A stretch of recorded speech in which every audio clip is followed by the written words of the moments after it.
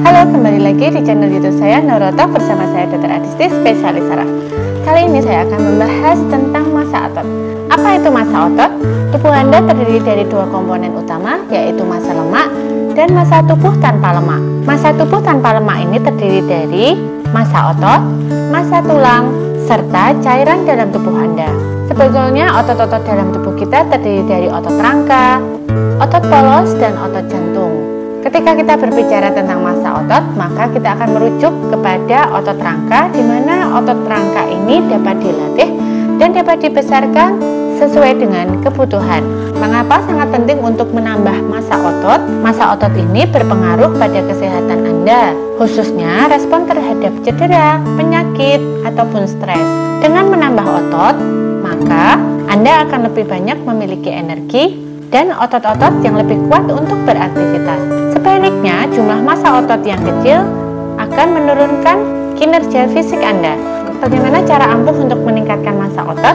Untuk meningkatkan massa otot, Anda harus mengetahui bagaimana proses pembentukan otot yang dikenal dengan istilah hipertrofi otot. Proses ini terjadi saat serat otot mengalami kerusakan akibat aktivitas berat. Kerusakan serat otot ini akan mendorong tubuh Anda untuk memperbaiki otot secara terus-menerus. Lama-kelamaan serat otot ini akan mengalami peningkatan sehingga akan lebih kuat untuk menjalani aktivitas berat ke depannya. Olahraga dan pola makan merupakan kunci penting dari peningkatan massa otot. Nah, olahraga apa saja sih yang dapat meningkatkan massa otot? Latihan kekuatan otot merupakan olahraga yang paling ampuh untuk meningkatkan massa otot Anda.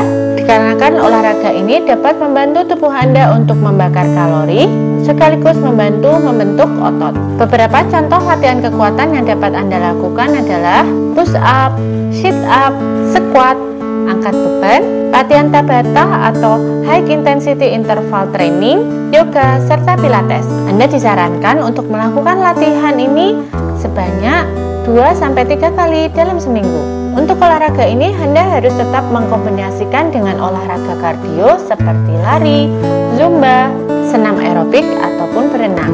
Untuk membentuk massa otot juga diperlukan pola makan yang betul. Salah satu gizi yang penting untuk membentuk massa otot adalah protein. Pada umumnya, kebutuhan protein yang dibutuhkan adalah 10-35% dari total kalori harian. Beberapa sumber protein untuk otot yang baik adalah telur ayam terutama putihnya, daging ayam tanpa kulit, daging sapi rendah lemak, jeruan, ikan, dan tahu. Jangan lupa seimbangkan juga dengan karbohidrat dan lemak yang berfungsi sebagai sumber energi bagi tubuh. Selain itu, asupan vitamin dan mineral yang berasal dari sayuran dan buah juga wajib dikonsumsi untuk menjaga keseimbangan pola makan kita. Penting untuk meningkatkan massa otot ini pada pasien dengan penyakit-penyakit seperti stroke yang sudah bertahun-tahun dan mengalami pengecilan otot dikarenakan usia sehingga terbatas gerak dan otot-otot mulai mengecil, kemudian pasien-pasien yang mengalami malnutrisi